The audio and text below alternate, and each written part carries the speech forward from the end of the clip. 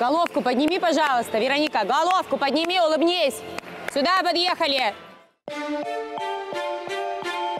Концертную программу на льду выполняет семилетняя Вероника Кудряшова. Девочка готовится к очередным стартам. Отрабатывает аксели и двойное сальто. Так называют сложные элементы и прыжки. Вероника в спорте уже три года, а недавно получила долгожданный первый разряд – юный фигурист.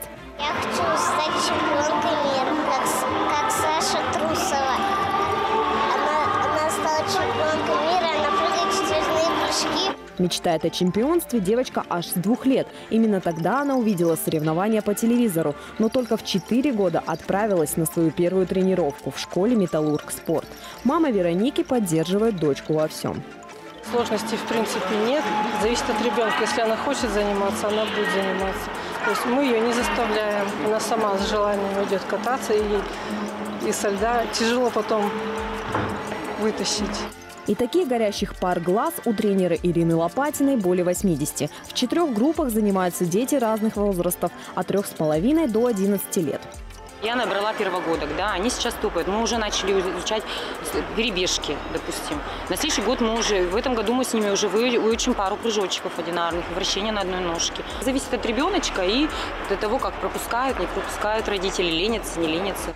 Родители тоже должны быть дисциплинированы, ведь здесь каждая тренировка на весь золото. У начинающих всего два часа в неделю. Со взрослыми учениками на лед выходят пять раз. Крестик. Рифат, молодец. Другая ножка, Рифат. Что ты не делаешь ничего?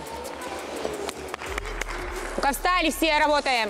Суровый спорт требует от детей психологической и физической закалки. Падения здесь неизбежны. Но на слезы нет времени. Упал, встал и снова к выполнению элемента.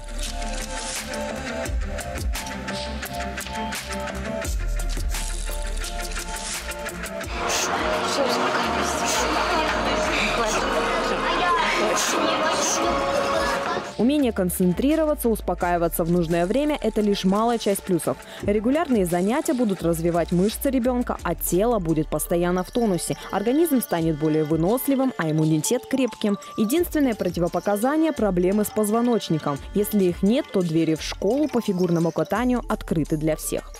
Школа у нас бесплатная. Родители оплачивают только лед, к сожалению, потому что это очень большой дефицит.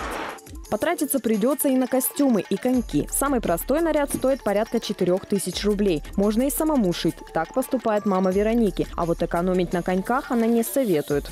Сначала мы на простых коньках катались, потом уже взяли бэушные, но в этом году первый раз попробовали новые коньки взять. То есть разница ощутимая. Пара профессиональных коньков стоит около 20 тысяч рублей. На все эти траты родители идут смело, ведь ничего так не завораживает и не радует сердце, как удача их ребенка на льду. Алена Павлова, Виталий Черепанов, ОТВ.